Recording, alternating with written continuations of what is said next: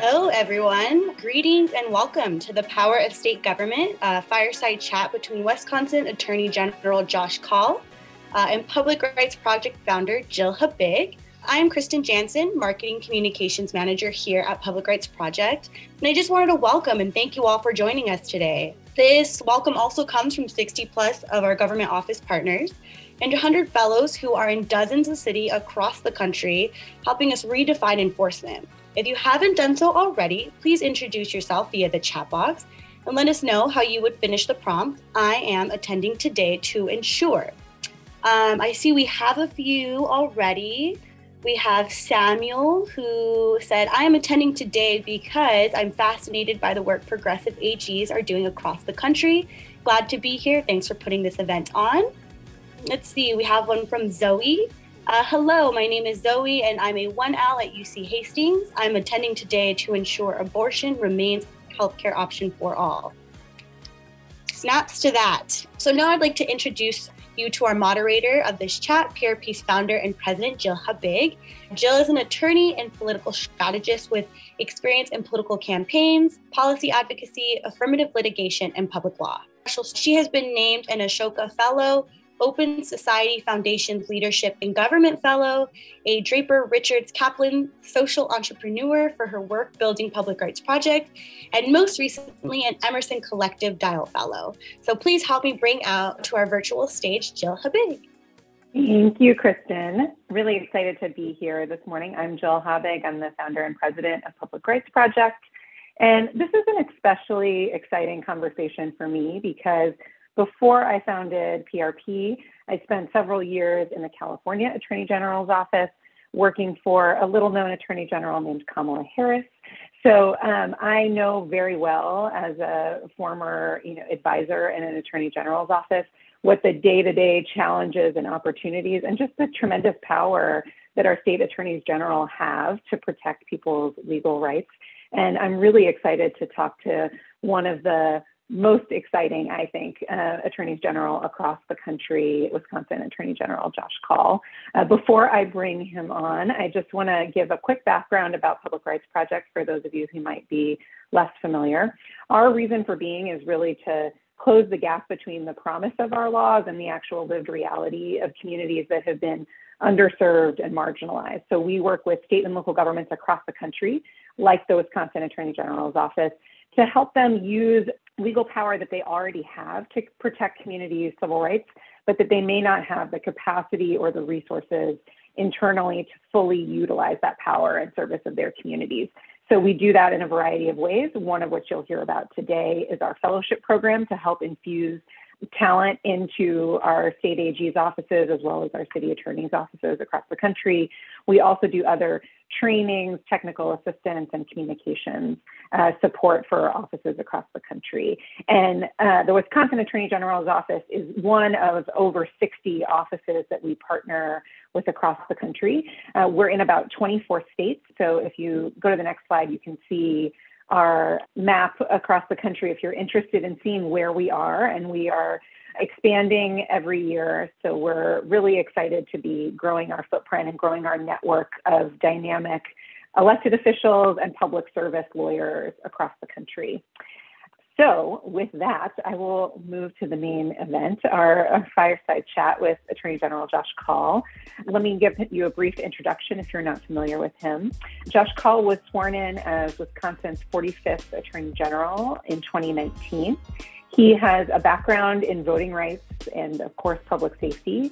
And his goals were to reinvigorate the office's work on a number of issues from revitalizing the enforcement of Wisconsin's consumer protection and environmental laws to launching new fair housing cases in addition to the, his core public safety docket. Previously, before becoming Attorney General, uh, Josh Kaul was a federal prosecutor in Baltimore. Uh, he graduated from Yale and majored in history and economics with honors and went to Stanford Law School, where he served as president of the Stanford Law Review. So, Attorney General Kaul, welcome. Thanks for having me, Jill. It's great to be with you.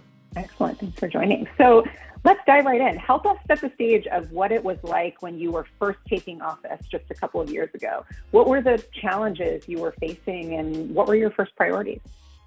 There are two things I think are really important to note about that. Um, one is Uh, you know, I was replacing the the prior incumbent. We had run against each other in the 2018 election, and uh, there was going to be a real policy shift in terms of uh, what we were prioritizing and where our resources uh, were going to be going. There had been AGs from a different party uh, for 12 years prior to me, and you know, one of the things that I saw as really important to do in the office was to develop a lot of our, our public protection work, uh, our work enforcing environmental laws, enforcing consumer laws, enforcing uh, civil rights laws to the extent that we had that authority.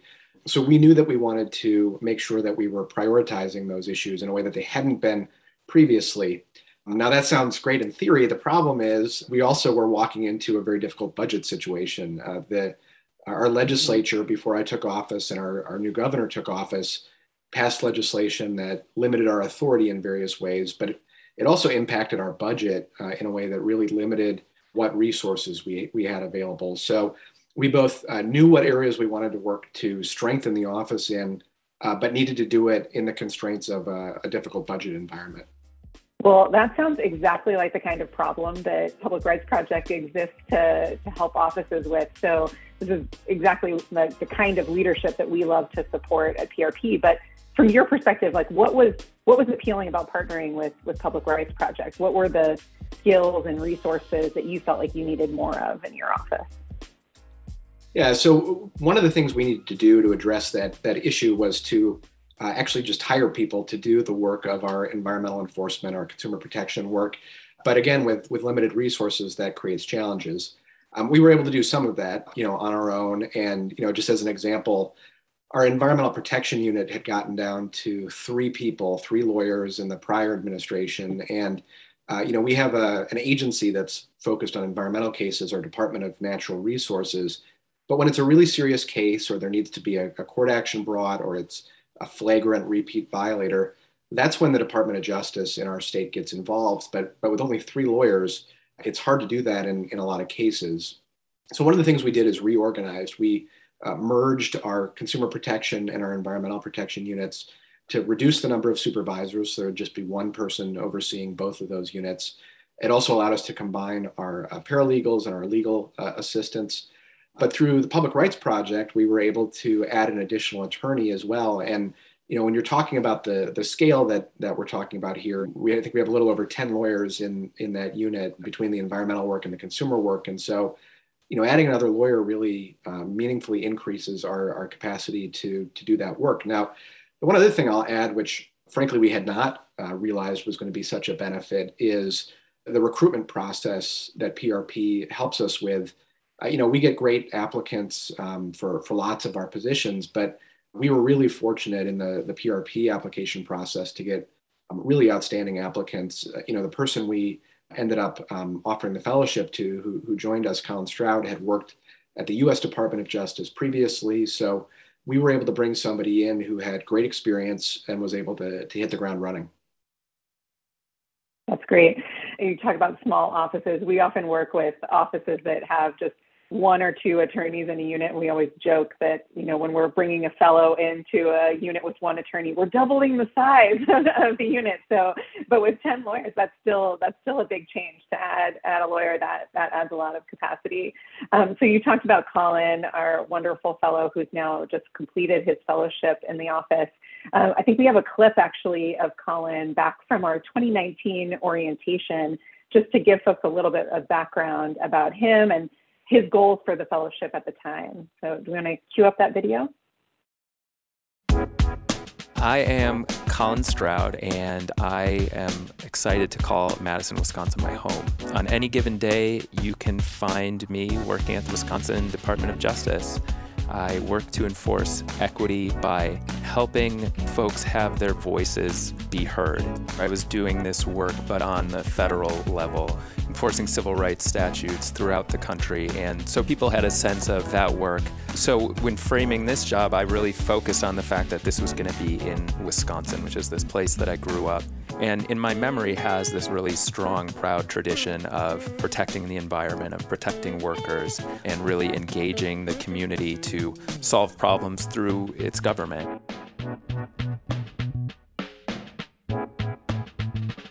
I think a theme that has come out a lot is listening and being intentional about seeking folks out to hear from them about what problems they're experiencing. And it's not going to be one set of problems. I think folks are going to be confronted with a variety of challenges and trying to think about how those things are related and how the offices that we work for might have tools that can start to get at some of those problems and really try to be responsive to what's going on. I think that's the beauty of these jobs is that they are local in a sense that they are meant to be tied more closely to the communities that we're serving and I think that gives you a good opportunity to really get to understand the situation day to day for the people that we're working for.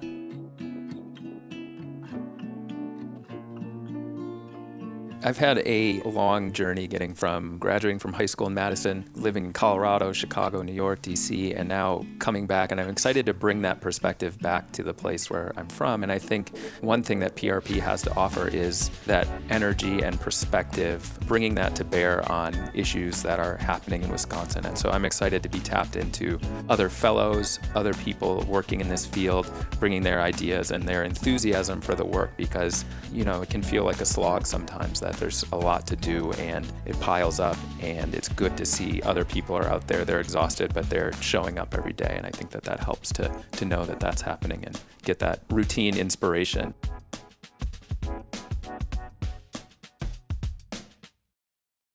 you know, I think uh, Colin really hit on some of the the really important work that that AG's offices do. Like I said, we've been lucky to have him as a, a member of our team at DOJ, and I, I, have to say also, as a proud Wisconsinite, it was great to get uh, some of those beautiful pictures from Wisconsin in there. I'm not going to use this yeah. as an uh, encouragement for people to apply for jobs at the Wisconsin Department of Justice, but of course, we are uh, always happy to have folks uh, helping us out in Wisconsin from your perspective um, with Colin over the last couple of years, you know, how did the fellowship go? What what wins did the fellowship have, and also, you know, where were there some bumps in the road? Well, I, I think it was really great. You know, first, as I mentioned, we just expanded our capacity to do a lot of the work that that really makes an impact in people's lives in our states. I mean, if you think about our consumer protection work, for example, uh, when somebody has been defrauded, whether it's from a predatory for profit college or in a number of other ways, getting uh, relief that allows people to get a debt relief or to get money back that they were fraudulently induced into spending, that can make an enormous difference in, in somebody's life. Uh, now, one of the things that uh, Colin ended up doing was really developing an area that had sat dormant in our office for a while. As I mentioned, we wanted to do more work to protect the public. And one of the areas where we wanted to do more was on civil rights enforcement issues. Unfortunately, Wisconsin is one of about half of the states where the AG's office has pretty limited authority in that respect. But while it's limited, it's not the case that we don't have any authority. We do have Fair Housing Act uh, enforcement authority under our state fair housing law, which is similar to the, the federal law. That authority hadn't been used for, for over a decade in the state. So we were really starting from scratch. And with Colin coming in um, he worked to develop that into an area that we are now uh, involved in enforcing the laws again in the state. So, you know, just to give you a, a few examples, uh, in one case, um, you know, we, we were able to get a consent judgment, uh, which is basically an in-court settlement uh, that provided injunctive relief as well as uh, a little over $17,000 to a complainant who had alleged um, race discrimination and retaliation. In another case, a, a settlement agreement provided over $16,000 uh, to a complainant who alleged that uh, she had been discriminated against because of a disability. In one civil suit, we were able to uh, obtain an order that barred somebody from being evicted while our Department of Workforce Development, which is another state agency, uh, investigated and resolved the discrimination complaint that it had received. Uh, and then another one was a, a, civil suit where a circuit court uh, entered an order that, again, barred eviction while a discrimination investigation was going on the, the way that our system is set up, it allows private actors to bring those kinds of cases, but in a typical case, somebody's not going to be able to hire a lawyer, pay for the enforcement action, and, and ultimately get the judgment they're hoping for. And so having our State Department of Justice able to bring those kinds of actions mm-hmm. helps make our anti-discrimination provisions in our housing laws effective for people. Now, the other thing, as I mentioned before, was we're, we're one of the states that doesn't have as broad uh, civil rights enforcement authority as, as a number of states do. So Colin worked to draft proposed legislation, which was introduced earlier this year in our state legislature, that would give our office uh, that broad authority. Now, it, it hasn't gone anywhere yet, but our goal is to really lay the groundwork so that in the future, when we are able to move forward with uh, with that legislation, we're able to get enough legislators on board uh, that we will be able to give, uh, you know, a future attorney general or a future DOJ that kind of enforcement authority. So that, that's one really big area. You know, I know there are a few mm-hmm. others that we're going to talk about as well, and, and I'll just sort of mention, uh, you know, protecting people's voting rights, um, protecting people's health during the pandemic are other areas where Colin was able to have a direct impact through his work as a PRP fellow. That's wonderful. And I, I want to just read for folks because when you were launching some of the fair housing cases and announcing some of those settlements, which is just, you know, sixteen or seventeen thousand dollars to someone who's in danger of losing their home is a lifeline. That is just a profound impact on their lives. Um, and so when you were announcing these cases, you said something that really just kind of perfectly encapsulates why Public Rights Project exists. So I just wanted to read it for folks. You said, after years in which prior administrations didn't use the authority that Wisconsin DOJ has to enforce fair housing protections, we are once again enforcing those laws. So just thank you so much for your work on that front. You know, one other question I have around fair housing in other cases, one of the things we found from a number of offices we work with is that especially at the state level, sometimes there can be a tendency for the office to be pretty removed from the community and then therefore not really hear or be able to connect with community members who are having problems like housing discrimination and other things that really affect their lives. Did you find that this kind of work connected your office to the community in a new way? So I think there are two really important impacts from from this kind of work, and and certainly housing discrimination is is a really important example. But enforcing our, our environmental laws and bringing community stakeholders together, or enforcing consumer laws and getting relief for people also helps with this. Um, one is that there clearly are strained relationships in some places between uh, communities and people who are, are law enforcers. And one of the things that benefits, I believe, both communities and those who are, are in law enforcement is showing that the law is working for people and that it is being even handedly enforced and that uh, you know a landlord who is breaking the law is held accountable just as somebody else who who breaks the law and so working to show that we are delivering for all people in our state, whether it's through the, the fair housing cases we brought or fighting for, for civil rights enforcement authority. It also helps us when we work to strengthen public safety by working to you know, build stronger community ties so that um, we can lift communities up.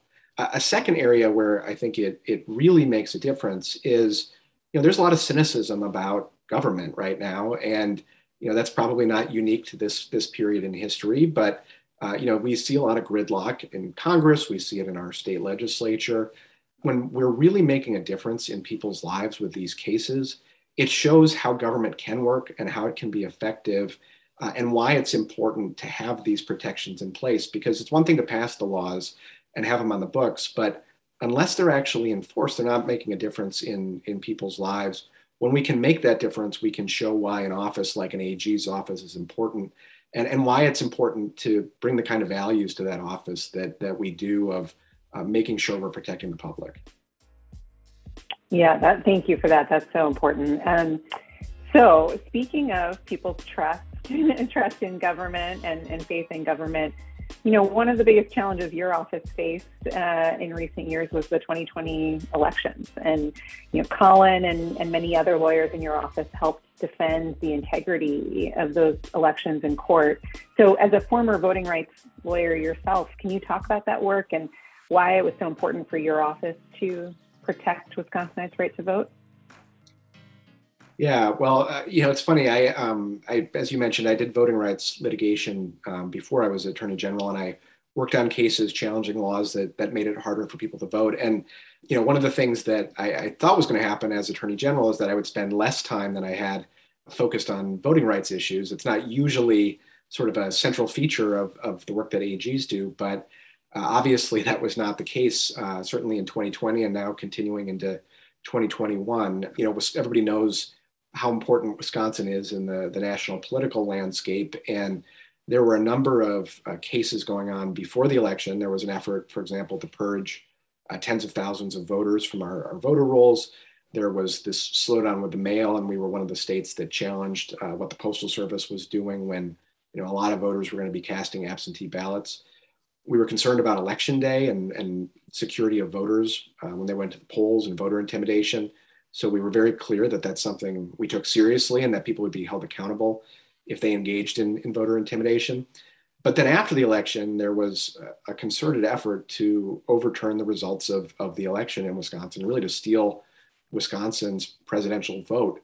And um, fortunately, we had uh, teams that worked to protect uh, the will of the voters. We had recounts in our two largest counties that confirmed the results. We had several different legal actions going on. And Colin was, was one of the lawyers who was part of our team protecting uh, the will of the voters. And, um, you know, people, I think, when they think about going to law school and, and having an impact through the work they do as, as lawyers, you know, protecting our democracy and upholding uh, the will of the voters in a presidential election is, I think, about as, as much as anybody could ask for uh, when it comes to having an impact. And because Colin had become such an integral part of our team, he was part of that effort. Well, yes, you're right. It doesn't get much more fundamental than that. So um, I have a couple more questions for you, and then we can open up to Q&A. So I just want to give a note to folks if you're thinking about a question please go ahead and enter it in the q&a box and we'll get to it in a few minutes but so now that some at least some of that election work is behind you uh, and you you did the basic you know the work of protecting people's right to vote what's what's next for your office what are your top priorities that you're looking forward to in the next few years yeah, there's there's certainly a lot of things that um, we have coming up, but you know, just to keep on the theme of voting issues, 2020 election is mostly behind us, although we have a what's being called an investigation um, by our legislature that's happening right now. We're we're involved in that issue, but we're also in the midst of our redistricting process, and you know, Wisconsin unfortunately had extremely gerrymandered maps for um, for nearly a decade now and you know, our office is representing our, our governor in advocating for uh, nonpartisan maps, fair maps that will empower voters. Uh, and that's going to be litigated over the next several months. You know, there's always the possibility that there will be legislation that passed that passes and is signed into law, but I don't think anybody thinks that that is very likely to happen. And so it's likely going to be uh, our courts that that resolve that issue. Another big issue uh, is is public safety. My my top priority as Attorney General is is public safety, and with the pandemic, we've seen a really tragic uh, spike in in shootings and in homicides around the country, including in communities in in Wisconsin, and uh, responding to that in a way that is going to make our communities safer, and that's going to do so in a way that is equitable and just, and that will build stronger communities in the long run. Uh, is something that's a, a, priority of mine. You know, one of the things we're we're working on uh, that relates to that issue is the opioid epidemic. We filed suit against Purdue Pharma early in my administration, and we're, we joined investigations into opioid distributors, multi state investigations. We're now in line to start resolving some of those major cases. And, you know, we look like we're going to be bringing over $400 million to the state to help make communities in Wisconsin safer and and to help them with their their fight against the the epidemic. And that's going to make an enormous difference um, in people's lives. Um, another big priority of mine has been working to strengthen our response to, to sexual assault. Uh, there had been a backlog of mm-hmm. thousands of, of untested kits in our state. We've been advocating for legislation that would help prevent a future backlog from happening. But we've also been working on investigating cases where there were DNA uh, matches and where there was foreign DNA identified so that people are, are finally held accountable. Sometimes, unfortunately, many years um, after the fact. Uh, and then uh, protecting environment, our environment and consumers also remains a huge issue. We, you know, during the Trump administration, we had a lot of litigation against the federal government, trying to push back against rollbacks to people's rights, rollbacks to protections for our climate. Now we're playing much more of a role where we try to offer suggestions. Um, we seem to get more positive reception from from agencies like the EPA now, and so on uh, PFAS, for example, uh, these toxic forever mm. chemicals that have impacted communities in our state and, and around the country. We've been a leader in, in several multi state letters advocating for, for stronger protections uh, so that we're protecting clean water. So those are those are a few of the issues. There are certainly others we're working on, but there's certainly no shortage of important issues that AG's offices have a really incredible opportunity to uh, make progress on. Yeah, thank you for that. So, you know, just in the last 20 minutes or so, we've covered the environment, voting, consumers, housing, toxic chemicals, et cetera. I think this gives people a flavor of just the scope of, of work that you have in front of you and that so many of our government partners are, are facing. So, you know, we have some of our government partners on with us. What kind of advice would you have for other governments in our network, those who may be starting a partnership with PRP or considering one? people who are, you know, offices that are trying to do new and innovative things? I'll say a couple things on that. One is, you know, the the experience of working with PRP and having a PRP fellow has been uh, entirely positive for our office. You know, I think we were lucky to get great applicants and to uh, hire a great fellow. Uh, Colin is now has been hired as a permanent uh, DOJ employee. Those extra resources, you know, it I, I, know you're in the California AG's office, and I, I, think you, there are over a thousand lawyers there. So one lawyer may not uh, make a critical yeah. difference, but in a smaller office or even a mid-size office, we're probably mid-size. Uh, you know, having uh, those extra resources makes a difference, particularly when you're thinking about the unit level where you've got you know environmental or consumer enforcement, and the the groups are much smaller. So it's been really helpful to us. It's also a great way to uh, identify people and, and, help develop skills so that if they apply for a job, uh, permanent position, um, they've had a chance to see what the office is like, see the areas that they're interested in, and and our uh, folks have had the chance to see what kind of work that they do. So, uh, you know, I, I, think it's a great opportunity for all sorts of different government agencies, whether it's a AG's office or a DA's office or a city attorney or, or what have you. That's great. Um, thank you for that. And then th- we also have a number of attorneys on who are early in their careers. I think you mentioned earlier there was someone who is a 1L at UC Hastings. Uh, I know we have several of our fellows who just started uh, this fall a month or so ago. You know, what advice do you have for attorneys early in their careers who are thinking about public service? Yeah, there, there are a few things I guess I would pass along. One is I encourage everybody who is interested in public service to get involved. It is an incredible opportunity to have an impact um, in your community, in your state, and, and in the country. For that reason alone, it's it's a really worthwhile thing to do and to get involved with.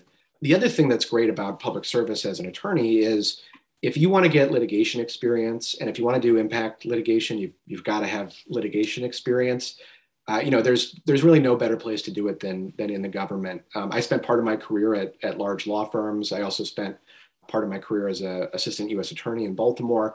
I had, was fortunate to have different experiences and to, to get a lot of litigation experience, both as an AUSA and then uh, doing voting rights litigation. That kind of experience is invaluable as you're working on cases and thinking about how to resolve them, um, how to work together, and how to advise um, agencies and you know the best way to do that is uh, through public service. The other thing I think is really helpful to lawyers is doing something that you care about, where where the work that you're doing is is something you're passionate about. If you're doing that, you're going to you know be a lot more likely to look forward to the litigation you're having, to get invested in the work, and, and you're ultimately, I think, going to do a better job if it's something where you've got a real passion for the work that you're doing. Um, you know, we've all heard from from lawyers who discourage people from going to law school and and you know don't uh, advise people to become lawyers. But you know, I think if you're in an area where you care about it, uh, you have a real opportunity to uh, not only make an impact but to do something you love. And and the last thing I'll say, and this is somewhat um, unusual about AG's offices, I don't think people think about it, and it's probably equally true for DA's offices or city attorneys on the local level. But you know, we've had a real opportunity not only to put you know, to bring enforcement actions, but also to uh, put policy ideas relating to legal issues on the agenda uh, with our legislature. And so I, I mentioned a good example before, which is the draft of the Civil Rights Enforcement Authority bill that that Colin worked on. You know, AG's offices and, and mm-hmm. DA's offices and other offices have a lot of expertise and developing relationships with legislators and then being able to uh, propose ideas is, uh, I think, a, you know, a really important part of the job that I think people don't think about as much when they're thinking about litigators and, and agencies that litigate. But it really gives you an opportunity to have a big impact on policy, even if you're working in a litigation capacity. Yeah, that, that is a great point. I think people don't realize how much policy influence uh, a public law office can have. So that's a really good point. Uh, so we're about to open up the floor. We have a couple of great questions already, and feel free to add yours. But I just want to thank you, Attorney General Kaul, for, for your time and just for partnering with us over the last two years. It's been such a pleasure. I also just want to thank all of our government partners, community organizations, funders, advocates that have just been part of this effort over the last couple of years. And just want to encourage folks again to subscribe to our newsletter at publicrightsproject.org and, and follow our online magazine, The Public, on Medium. So, okay, we have a couple great questions. One is, do you have any examples you could talk about with uh, about collaboration with other government entities like municipalities, federal agencies? Just any insights you have about leveraging their respective strengths and, and managing expectations as you build those relationships. Yeah, absolutely. One of the things that I, I really enjoy about um, the work that we do at, at the State Department of Justice is that we collaborate with different agencies in, in a whole host of different ways. And giving just one example is, is tricky because there, there are so many and it's so integral to our work. But as an example, there are certainly uh, enforcement actions where we partner with the federal government there may be both state law violations and, and federal law violations, uh, you know, and we, we work together uh, in that capacity. We also, you know, provide guidance to municipalities. I, one of the areas we um, haven't talked about much that, that Colin worked on was, I believe Colin worked on this. Uh, he can correct me if I'm wrong about this, but uh, are some of the coronavirus cases and protecting public health. And there, that's an area where we ultimately issued guidance uh, to our municipal governments, our, our state Supreme Court struck down our state uh, rules that had been in place, and we wanted to make sure that local governments knew uh, what authority that they they had. You know, we of course work with different uh, law enforcement agencies uh, around our state, and we work with state government agencies. You know, some of the fair housing cases I was mentioning are ones where our Department of Workforce Development uh, would do sort of the initial review and investigation, but when they thought it would be important to get our office involved in the case, they, they would reach out to us. And, and then on the policy issues, bringing together you know a broad group of, of stakeholders can be really helpful in in moving policy solutions forward. So those are a few examples but there are, are many of them. That's great. Thank you. Um, another question is just want your input on how activists can best inform and even influence you know the decisions that an AG's office makes and whether it's what cases to take or just what to prioritize in terms of policy or enforcement or even just your use of the bully pulpit. You know you you can call the media you can um, have you know microphones in front of you unlike many members of the public this is from the perspective of someone who's a philanthropist and uh, you know active in in advocacy efforts yeah, it's a great question. Um, you know, one of the things that is unusual about an AG's office as compared to, say, a legislator is, you know, you, you certainly don't want your enforcement functions to be improperly influenced in any way. And so that's something that we very carefully think about and, and make sure we're conducting in a way that is impartial and that we're promoting the rule of law through the work that we do. On the other hand, we're, we're not judges. Um, you know, we are making decisions about where to put resources and and having input from the public can be extremely valuable, both in, in identifying issues, but also in, in getting a sense of what are priorities when it comes to our resources, what should they be? And I'll, I'll give you a couple examples of things that I found really useful. Um, so we, what we try to do is uh, meet with people who have issues they want to raise that are relevant to uh, our office. And we try to do it in a way where we're getting lots of points of view and lots of input from people uh, you know, I've certainly met with people whose whose views on issues I don't necessarily agree with, because I think that that's you know an important part of the job is to hear different perspectives. About one meeting I had that uh, is one that that sticks with me was with some uh, environmental activists, and one of the things they talked about was our resolution of an environmental case uh, where there had been a, a manure spill in the part of the state where they lived, and you know they said, well, it was sort of a process where we didn't really have a, a feeling of ownership. We didn't know what was going on because there was this case brought, there was resolution for a certain amount, and you know we didn't have any input. We didn't know what it was going to be. And now, of course, you know those decisions do need to be made ultimately by the AG's office as to what the resolution should be. But you know, one thing I took away from that meeting was in figuring out how to resolve a case, having a sense of what's going to be most important to the community, to people who are impacted, is really valuable. And we took that lesson and in a different case uh, was referred to our office from the DNR. It's an ongoing matter, but it involved um, PFAS contamination. We had a public uh, forum where we heard from people. I took questions. I heard from people about what was important to them, what their concerns were, and it was really helpful to hear from people about you know what it is that would make the biggest difference in their community in terms of a potential resolution because of the health concerns that people had because of the harms uh, to the environment. Uh, and then when you're doing these sort of public law litigations, just just knowing you know what impacts these things are having can can help you make your case stronger. So you know, meeting with AGs is something I encourage folks to do if there are issues that are of importance.